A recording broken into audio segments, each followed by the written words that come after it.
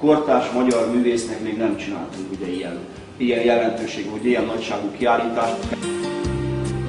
Szerepel olyan munka is, amit meg a főiskolai felvételi rajzom. Tehát, mert én grafika szakon kezdtem, két évig ott voltam, és utána mentem már festőszakra.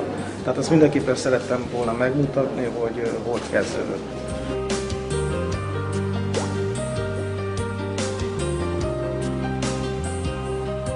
Vannak olyan témák, amik különösen érdeklik.